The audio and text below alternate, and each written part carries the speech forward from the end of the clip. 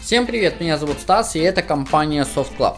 Итак, а, первое, что вам нужно сделать после покупки iPhone, это как минимум создать учетную запись и завести iCloud. Для чего? Для того, чтобы если в дальнейшем, не дай бог, у вас его украли, либо же вы его где-то потеряли, вы его всегда сможете найти, а также написать на него удаленно сообщение. Итак, первым делом, что вы делаете, это после активации вашего устройства, или если у вас уже есть Apple ID, то однозначно вы его вводите, ну вот, а, чтобы потом не было каких-либо проблем. А как найти, я сделаю отдельное видео ваш iPhone, то есть если вы, не дай бог, украли, ссылка будет доступна в описании к данному видео. А также а, вы обязаны, если у вас его нету, создать Apple ID. После того, как вы активируете ваше устройство, а точнее во время активации, я рекомендую пропустить пункт данного Apple ID, потому что создать его через стандартные настройки, вернее при активации, это не совсем то, что нужно сделать.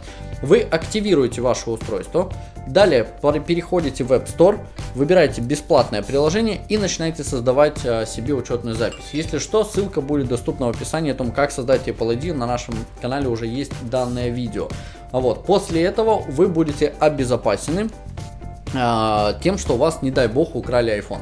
Если у вас его и украли, то как минимум ваш iPhone, если он на седьмой прошивке, то есть если у него iOS 7, его не смогут ни отремонтировать, ни разобрать на детали, а, ни перепрошить и не восстановить. То есть э, человек, если не дай бог у вас его украдет, он оставит у себя просто кирпич. Единственное, что он сможет сделать, это получить от вас сообщение о том, что прошу помощи, да, вернуть данный iPhone по данному номеру за вознаграждение. Лучше он получит каких-то пару копеек после того, как он вам вернет iPhone, либо он его просто выкинет в мусорник, потому что на сегодняшний день компания Apple это единственная в мире компания, которая сделала вот такую вот интересную штуку, и, к сожалению, она это сделала только на iOS 7, но тем не менее, она это сделала первая и единственная во всем мире. А с вами был Стас, спасибо, что были с нами, подписывайтесь на наш канал, ставьте лайки, оставляйте ваши комментарии и, конечно же, подписывайтесь на наш твиттер для того, чтобы получать своевременно уведомления о тех видео, которые выходят на нашем канале. Пока!